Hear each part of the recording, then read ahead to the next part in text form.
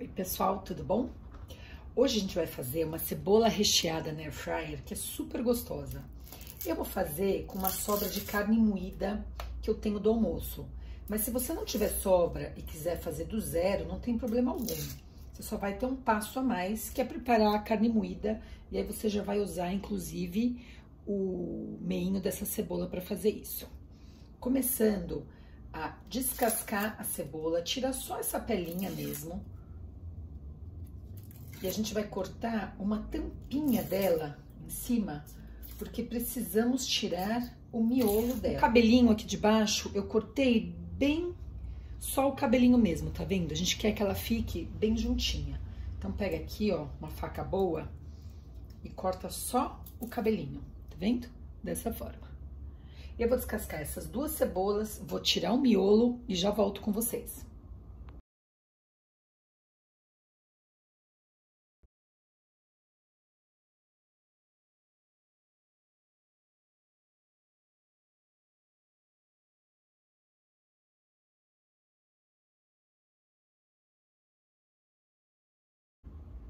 Bom, eu já abri as duas cebolas, olha aqui como elas estão, tá vendo?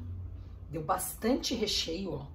Se você for fazer a carne do zero, agora você refoga com essa cebola picadinha e tempera da forma que você quiser, com azeite, sal, fica uma delícia. Você tem que refogar e você vai colocar ela refogadinha já aqui dentro. A minha já tá pronta, então, eu já cortei o meu queijo. Eu tô usando Minas padrão, mas você pode usar mussarela, queijo prato, queijo de sua preferência. E aí, agora a gente vai precisar de um ovo para cada cebola e a gente vai separar a clara da gema. Eu vou usar aqui meu separadorzinho já, que é super prático. Vou pegar então a minha carne moída, vou colocar um pouquinho aqui, que é quanto vai em uma cebola.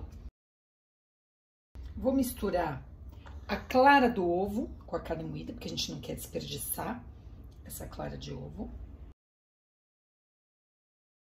Vou colocar um pouquinho de, de queijo no fundinho. Carne moída aqui no meio. Aí é óbvio que a sua carne pode ter pimentão, pode ter tomate,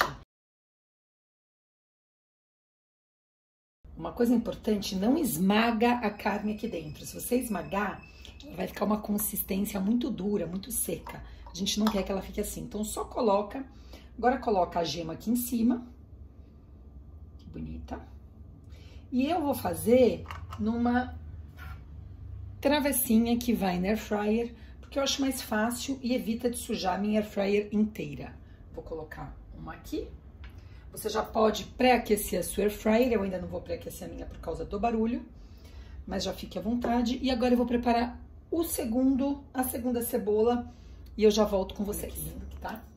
Agora eu vou colocar um pouquinho de sal nas geminhas e vou colocar na air fryer pré-aquecida a 180 graus.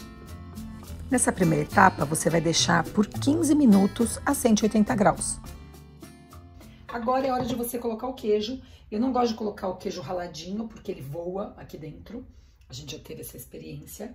Então, eu, coloco o queijo picadinho, ou se você tiver, você pode colocar o queijo em fatia mesmo. A fatia em cima, que ela fica bem durinha em cima do, do ovo, né? Ela não vai voar de jeito nenhum, porque a gente não quer que ela voe. E agora, eu vou colocar mais uns dois, três minutinhos, porque a gente só quer que esse queijo derreta e fique aquela capa bonita. Foram os dois minutinhos com o queijo, um cheiro delicioso, olha que coisa linda. Eu vou mostrar pra vocês, eu vou tirar uma daqui com bastante cuidado. Gente, super diferente, né? Pra quem gosta de cebola, esse prato aqui é simplesmente delicioso. Sem contar o que ele é bonito e o que ele é saudável. Olha aqui. Ó. Demais, né? Vou tirar uma fotinho e é óbvio que a gente vai provar. Olha como ela tá suculenta. Olha que delícia. Lembra que tem queijo aqui embaixo também. Dá um toquezinho gostoso. E é muito boa. Hum.